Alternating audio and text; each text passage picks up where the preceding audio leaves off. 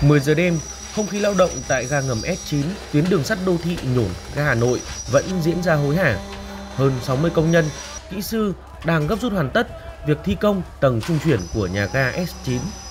Cái bản trung chuyển này thì nó có cái chức năng là thứ nhất là khu vực đón tiễn hành khách, thứ hai là khu vực bán vé và lắp đặt các cái thiết bị Ờ, bán vé tự động của nhà ga và cái thứ ba là lắp đặt toàn bộ các thiết bị điều khiển chung của nhà ga. Hôm nay là ngày đầu tiên thực hiện việc đổ bê tông cho sàn trung chuyển. Hơn 600 mét khối bê tông trên tổng số 3.600 mét khối được các kỹ sư, công nhân triển khai hoàn thiện. Đây là bước khởi đầu quan trọng đối với tất cả các nhà ga trên tuyến đường sắt đô thị Nhột, ga Hà Nội. Vâng, chúng tôi có ờ, thứ nhất là uh, tất cả các uh, nhân viên của MAB uh, đang thực hiện nhiệm vụ giám sát ở công trường thì uh, thực hiện đầy đủ các cái quy trình mà uh, theo quy định pháp luật của Việt Nam.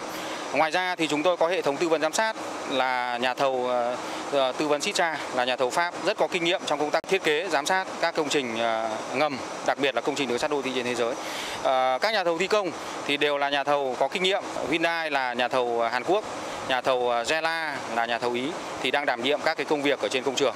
Chúng tôi cũng à, à, đang thực hiện tất cả các biện pháp để đảm bảo rằng là cuối năm thì chúng tôi sẽ hạ được cái robot đào ngầm TBM đúng ở vị trí nhà ga S9 ngày hôm nay chúng ta đang đứng và sẽ bắt đầu đào hầm vào tháng 12 năm 2020.